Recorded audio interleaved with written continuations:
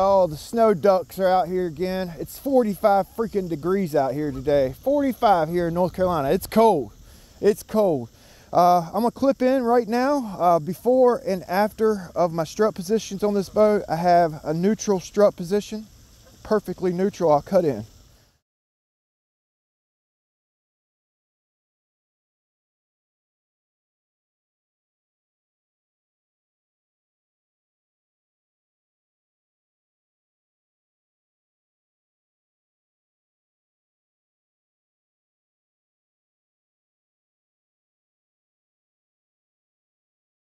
Neutral. All right, last time we were out, I had some down angle. I think that down angle was picking the back of the boat up, pushing the bow down.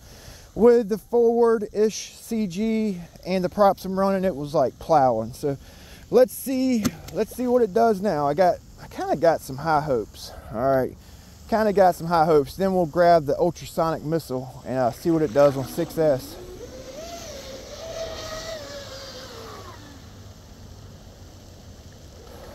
Looking a little bit better.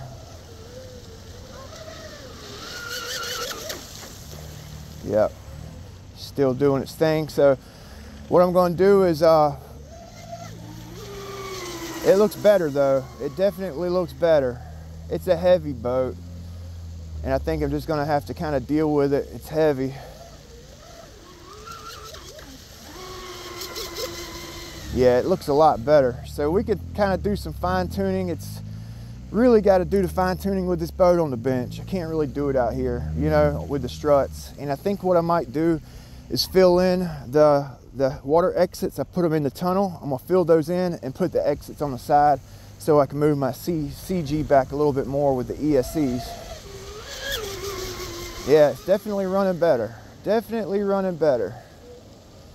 And uh, like I mentioned in the last video, I think these props have a lot to do with its performance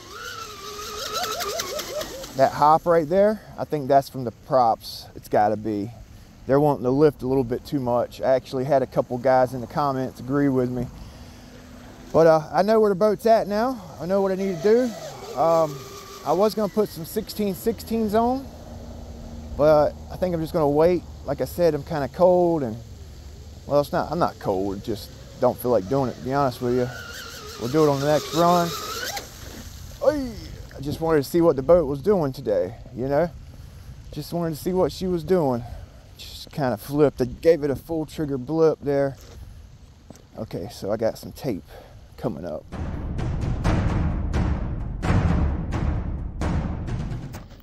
So while I'm getting this taped up, I gotta dry it off, no big deal. Uh, Nick, one of my viewers, actually sent this um, package to me. He actually 3D prints these GNSS Performance Analyzer cases. And I've seen quite a few of these cases printed, but none of them have a seal. Can you guys see that?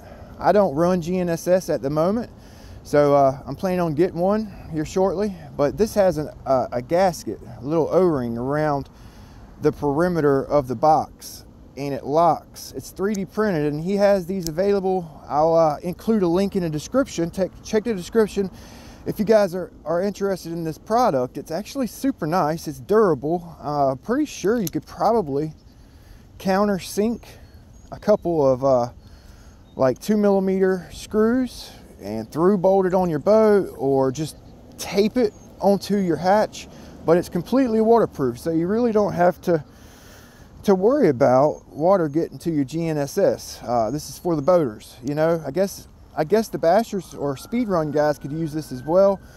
Uh, it'll keep dust out, you know. But um, pretty nice, printed in uh, PLA, I guess. Uh, Nick, correct me if I'm wrong, but um, yeah, check the description if you guys are interested in the little GNSS waterproof, watertight box. Pretty, pretty sweet. Brother, I appreciate it. Boat gang, guys are awesome. Back to the regularly scheduled program. All right, we're taped back up, ready to roll again. Yeah, Nick, thanks for that GNSS box, dude. That's freaking awesome. Um, definitely gonna get a GNSS for it. Uh, I lost my last one. in a Sonicwake crash. Had it taped to my hatch and my hatch cracked in half and lost a GNSS. I definitely think it's uh, running better. I, I'm not hitting full throttle with it. It's maybe half. That's about half right there. So it's going to be a pretty quick boat once I get her tuned in. You guys know I'll get her tuned up. Yeah, that prop's causing too much lift in the back. I see it now. So if I can get a prop that has a little bit of bow lift, we might be uh, we might be in good shape or no lift at all like an ABC prop. They don't have much lift you know depending on what you're running or whatnot how you balance it.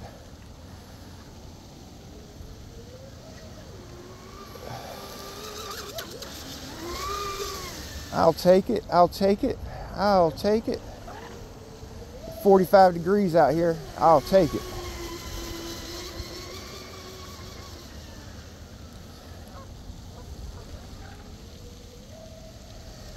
All right, so let's see how it does in a turn here. Let's just see how it does in a turn. I was taking it easy, I didn't want to flip it. Kind of a medium speed turn. Hopping in the turn.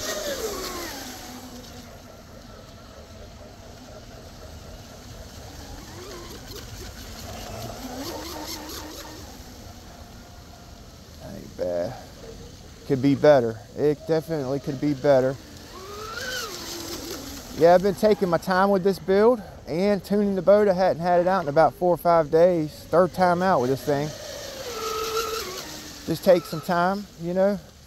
Uh, I had it on the bench for like two of those five days. Um, messing with the trim, getting the trim set up where I want it, getting some CG set up.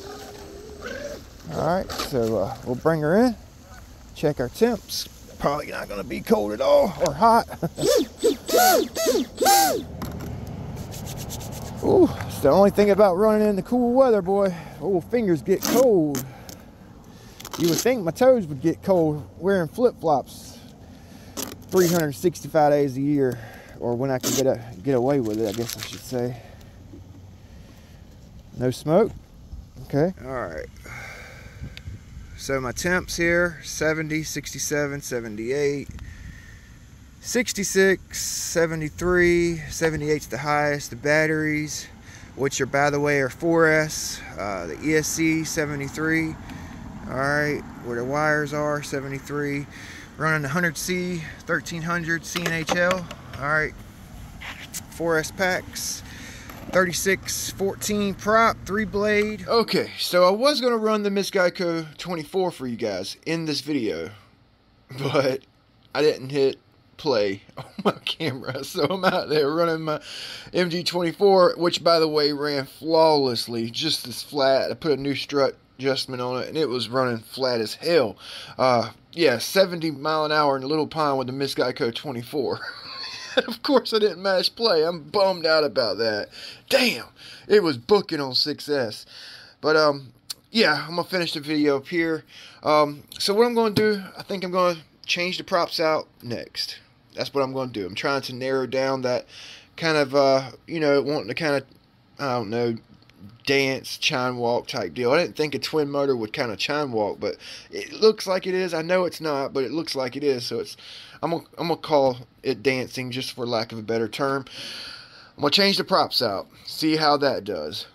I originally was wanting to go ahead and remove the the exits, put the exits on the side, fill these two holes in, so I can move my ESC back. Okay. I want to also move my servo back. So um, I think I'm going to try the props first because I don't want to do too many things trying to like pinpoint uh, uh, a performance characteristic. I don't want to do too many things at one time. So change the props, see how it handles because it actually handled pretty good today.